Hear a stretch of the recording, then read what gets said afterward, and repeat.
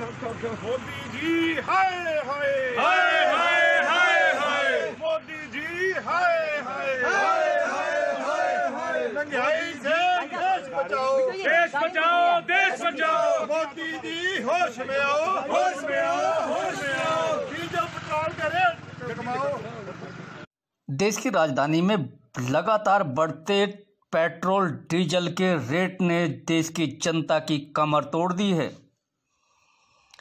अब केंद्र सरकार के खिलाफ नारेबाजी और अलग अलग तरीके से प्रोटेस्ट चल चुके हैं। हम आपको बताते चलें, देश की जनता, चाहे वो गैस हो, गैस सिलेंडर हो, चाहे पेट्रोल या डीजल, कोई दिन ऐसा नहीं जा रहा है जिस पे पैसा नहीं बढ़ रहा। जो लोग पहले कांग्रेस को कोसते थे, कहते थे, वो आज खुद अपनी आँखों से देख ले। आज सौ, तकरीबन सौ रुपये होने को जा रहा है। इक्यानवे रुपये दिल्ली में पेट्रोल मिल रहा है। अब देखना होगा कि केंद्र में बैठी हुई सरकार क्या जनता को इसी तरीके से मारती रहेगी। यहाँ आप देख सकते हैं कि किस तरीके का प्रोटेस्ट है। गाड़ी को खींच के ले जा रहे हैं।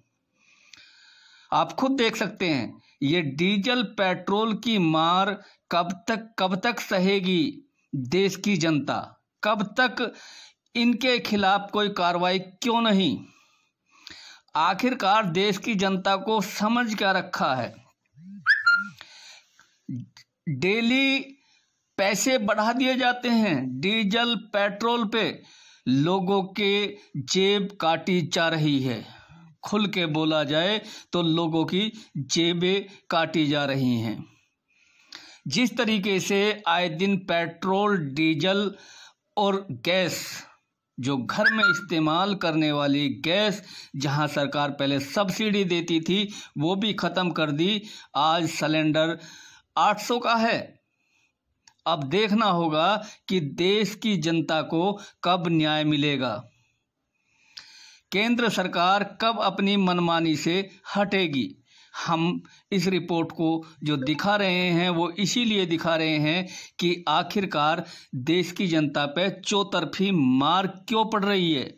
पहले ही लोगों के पॉकेट में पैसा नहीं है और ऊपर से डीजल और पेट्रोल और गैस सिलेंडर पर पैसे बढ़ाई जा रही है केंद्र सरकार।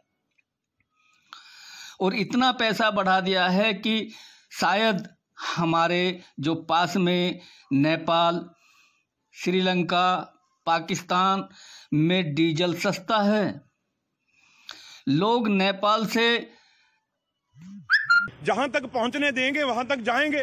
डीजल पेट्रोल के रेट पे क्या क्या कहना चाहेंगे नहीं नहीं डीजल पेट्रोल के रेट आदमी, सोचो, एक किलोमीटर 12 से 15 रुपए किलोमीटर पैसे लगते हैं, एक किलोमीटर अगर तय करना है। तो हाल तो देखिए, सिलेंडर का, ये बोल रहे हैं, अभी हम सिलेंडर फ्री देते हैं।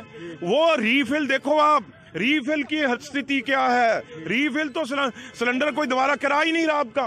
तो इसलिए मार के रख दिया, दो महँगाई इनको पहले डैन लगती थी। अब वो मोदी जी की डार्लिंग हो चुकी है, फ़र्क कितना है। बढ़ते दामों पे क्या कहेंगे आप? महँगाई डायन खाए जात है, ये 2014 से पहला का नारा था। महँगाई डार्लिंग लग जात है, वो आज का नारा है।